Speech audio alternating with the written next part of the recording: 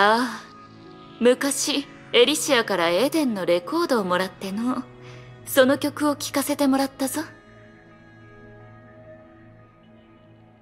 わらわの故郷の音楽とは違うがその曲にある独特な美しさを感じ取ることができた。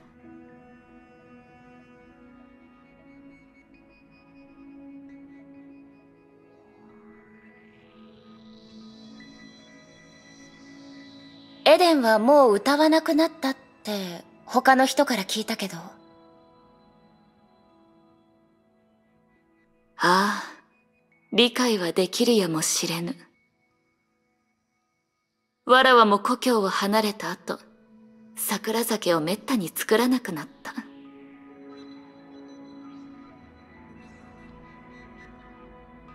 どう作っても、桜の花と酒は、もうあの時の味にならぬのじゃ。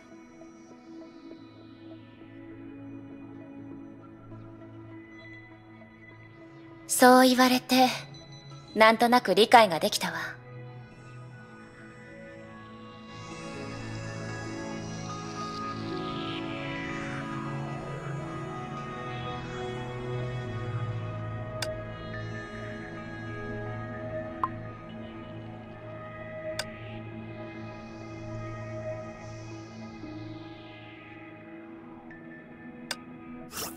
もう歌をやめたって他の人たちから聞いたわ。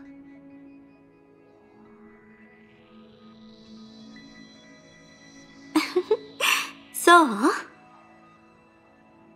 実は一人でいるとき、たまに歌うのよ。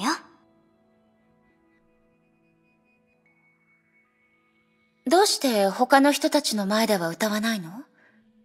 その、あなたは観客がいた方が好きなのかと思ってたけど。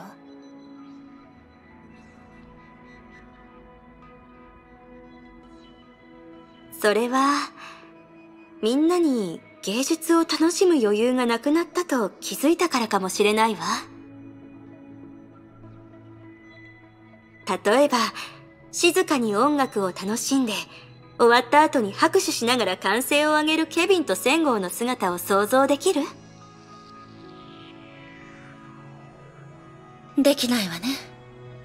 でも、他の人たちならできるかもしれない。ええ、そうかもしれないわ。でも、歌うにも気分というものがあるのよ。例えば今日。今日の気分ならこの曲がいいわ。ミューズの庭、第3部第2幕、水仙の咲く頃。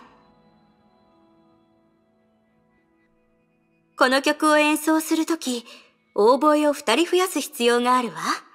その分、フルートの音は少し弱くてもいいの。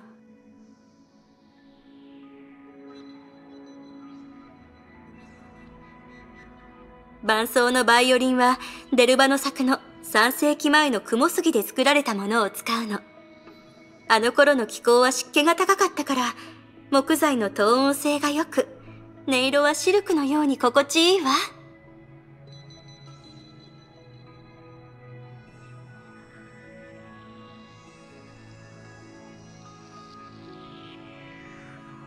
ほとんど聞いたことのない名前ね。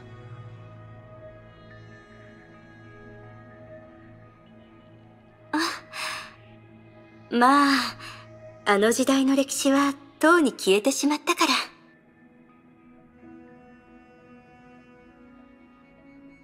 ら。でも、こういう話は好きよ。素敵な時間だって感じられるから。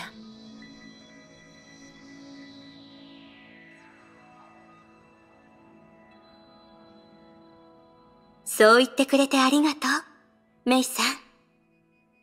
いつか、あの時間をあなたの前で奏でる時が来るかもしれないわ。ええ、楽しみにしてるわ。